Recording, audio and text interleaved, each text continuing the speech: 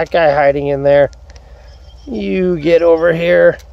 Oh, he's already, I broke him in half. Oh no. Hey guys, welcome back. Today I want to talk about strawberries. Specifically, pruning your strawberries to maximize yield. Now, I also want to talk about growing strawberries from runners. Now, as you'll see in this video, growing strawberries from runners goes hand in hand with pruning the mother plants.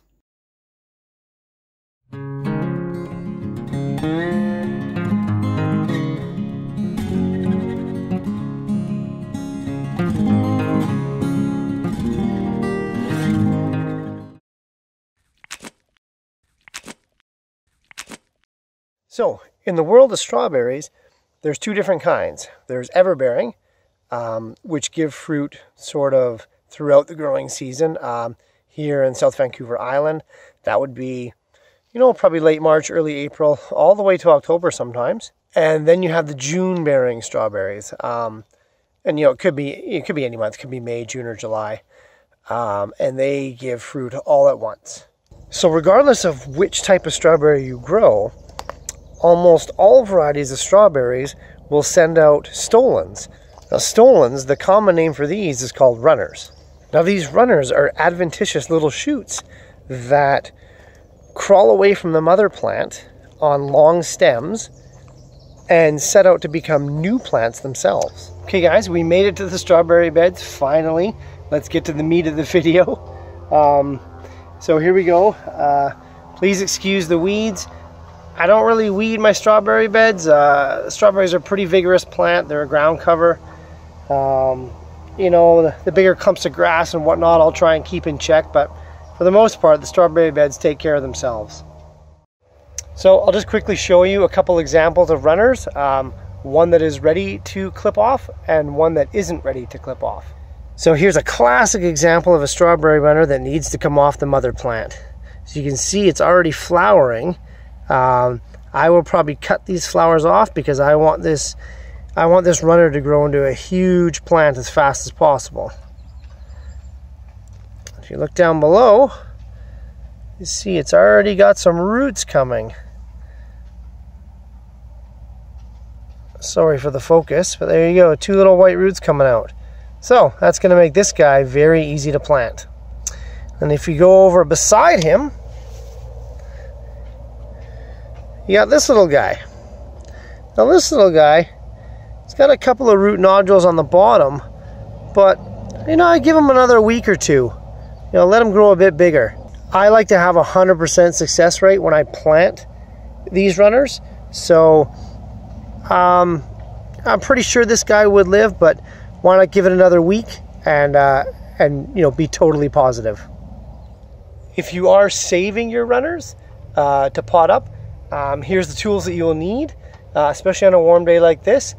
I've got my tray uh, and a pair of scissors, but I've also got a wet paper towel or wet newspaper. You want to get those roots, um, if they've started, into some damp material right away because as soon as you cut that stolon off, that's their lifeblood to the mother plant. They'll have no more water or nutrients going to them. Let's go ahead and uh, clip one of these guys off. Okay. There we go. Now you can see on the left side there, this plant is so advanced itself, it has its own runner coming off of it. Now that runner is pretty small. I'm just going to go ahead and cut that off.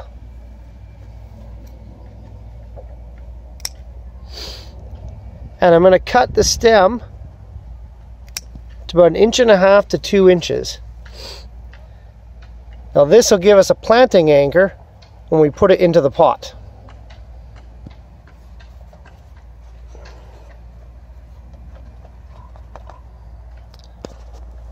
Okay, I'm to go ahead and uh, get rid of the runners off the rest of this bed. Possibly pick a couple strawberries while I'm at it. And then I'll see you back at the greenhouse to pot them up. Okay guys, we're back inside my messy greenhouse.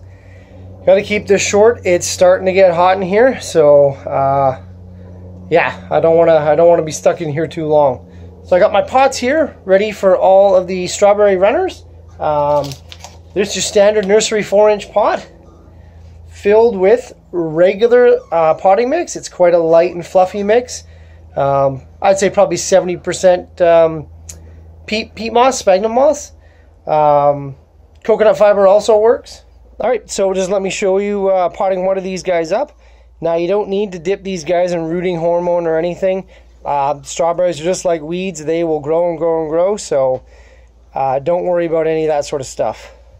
So you just want to use that stem as an anchor because you can't plant these guys deep. If you bury the crown, they'll rot. So you use that stem as an anchor. Just lightly put it in the top there. Now, you got that two inch stem sticking in there. It's going to hold it in place. And that's it. There you go, strawberry plant. I'll probably nip these flower buds off and then we'll get the rest of this tray potted up with the rest of the runners. So guys, just a couple of last points on, on the strawberries. Um, if you don't need the runners, if you're not expanding your strawberry collection, cut them as they come off. Don't let them grow. Don't let them take energy from the mother plant. Just keep cutting, keep cutting uh, as soon as you see them. If you are, however, saving the runners to grow more strawberry plants, either for sale or for yourself, definitely cut them off uh, in the early summer. That way you can grow those plants fast enough to get fruit the very next season. Now this is especially important if you are growing those strawberry plants, you know, for sale on your farm stand um, or, or for sale with your other starter plants. Because you'll, you'll notice in your local listings, you'll see little two inch and three inch pots of strawberry plants going for a buck a piece. Well, you know, given the time and the soil and the and the effort, who, who's making money at a buck a plant? No thing. What are you doing? Nobody's making money at a buck a plant. So when they come to your farm stand and your plants are in gallon pots or bigger, they already have strawberries on them. People can envision these, these pots on their deck, on their patio, wherever, already producing strawberries. And they'll pay five, six, ten bucks a pot. So just because you harvest them a few months earlier could give you a leg up the next season. All right, guys, thanks for joining me today. Um, pretty much just one takeaway from this video, and that's when you cut your strawberry runners, do it in the early summer you know, do it as as soon as they're ready to uh, to be replanted. Um, if you want to replant them. If you don't want to replant them, if you're full of strawberries, just cut them as they come. Cut them all the time because um, your mother plant will uh, thank you for it. But be known, um, strawberry plants, you know, even the good ones only last about four or five years. So you will need to hold back runners if you like that variety uh, to start a new mother plant. So thanks for sticking through to the end. Uh, leave a comment down below if you got any other tips or tricks on strawberry growing. Uh, hit subscribe if you like what you see. And yeah, as always, continue the discussion. And I'll see you next time. You know, puppy, make it super hard to film. Ouch. What the heck was that?